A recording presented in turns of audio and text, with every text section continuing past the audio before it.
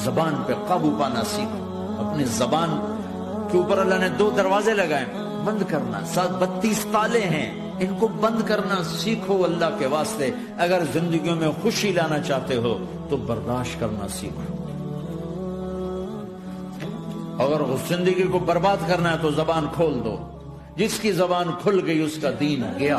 जिसकी जबान हाथ में आ गई, उसका सारा दीन हाथ में आ गया।